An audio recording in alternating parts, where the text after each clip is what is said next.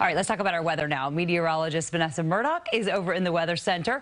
Warm day for those runners. Yeah, absolutely. And one more day of unseasonable warmth moving forward before temperatures get back to where they should be. So let's go ahead, shall we, and check out what you can expect. As we discussed earlier, record warm today was at 75 degrees, previously 74. We broke today four records at our six reporting sites tomorrow. Again, that chance, and certainly we expect to make it happen. As we look live outside right now, we've got mostly cloudy conditions in 70, south winds at 10. These will continue to warm us up into the early portion of the day tomorrow before winds switch and start bringing in that colder air for Tuesday. So what can you expect tonight?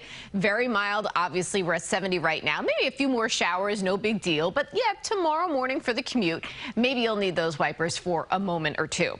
Quickly clearing tomorrow morning. By midday, we're all enjoying blue skies. It will be a little and still very warm.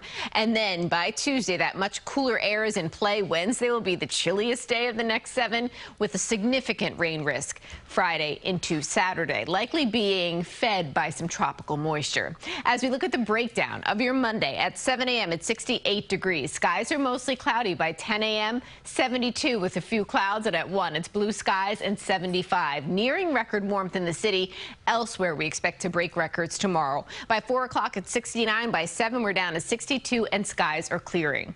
Right now around the region 64 in Monticello 66 in the Hamptons. As we look at the satellite and radar picture just a few spots of wet weather on the radar.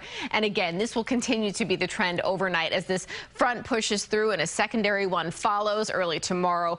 Winds behind it roll in and bring in those cooler temperatures come Tuesday for election day. As we make our way overnight, again, mostly cloudy skies, that slim chance of a shower early. By 8 o'clock, you can see it's lots of sunshine for many. By noon, it's sunshine for all, and then skies are a crystal clear shade of blue Tuesday and into Wednesday. But Thursday, the clouds do thicken in advance of some potentially soaking rain Friday into Saturday. Here is your seven-day forecast. It's 75 tomorrow for Election Day, 58 degrees with bright skies and breezy conditions. Wednesday, mostly sunny sunny, 55, the chilliest day of the next seven.